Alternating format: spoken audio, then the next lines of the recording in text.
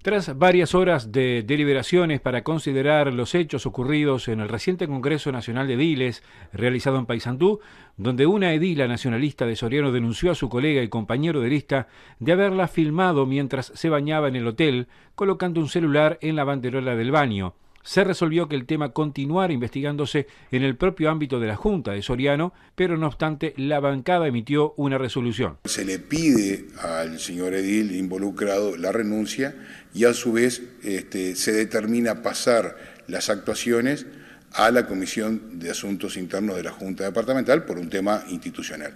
Esto creo que ha afectado, sin lugar a dudas, la institucionalidad de la Junta y, amerita la investigación pertinente. También se pronunció la bancada nacionalista del Congreso de Ediles que le solicita a la mesa ejecutiva que expulse al edil cuestionado por actos que implican agravios a los principios morales, según expresa el comunicado. También la departamental del Partido Nacional, que se reunió ayer, le pide que... Eh, que se tome una, especie de licencia por 90 días y que se remita la temática a la Comisión de Ética del Partido Nacional. En su defensa, el edil argumenta que se trató de una broma que se malinterpretó por parte de su compañera de agrupación, sostuvo que solo colocó el celular en la banderola pero que no sacó fotos ni filmó.